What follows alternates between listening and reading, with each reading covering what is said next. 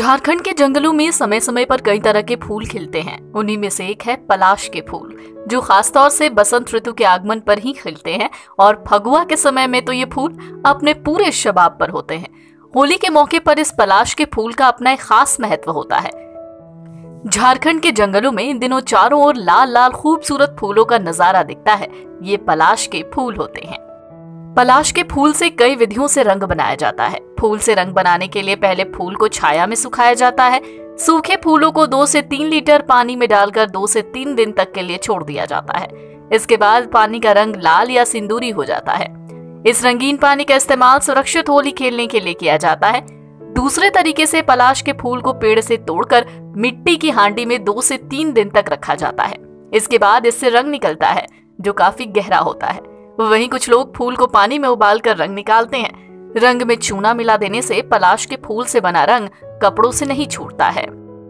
झारखंड के प्रमुख लोक कलाकार पद्मश्री मधु मंसूरी बताते हैं कि पलाश के वृक्ष झारखंड के जंगलों में वृक्षों की माता के समान होते हैं। अब रह गया पलाश के बारे।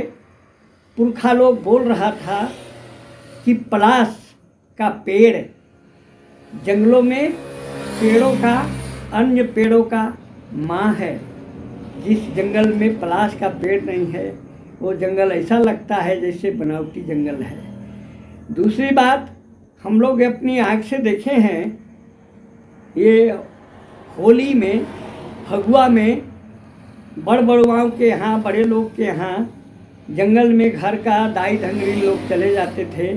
और टोकरी में पलाश का फूल को दाल को सुरख के तोड़ के लाते थे और उसी को महीन से मीस के छेच के, पीस के उसका रंग बनाते थे।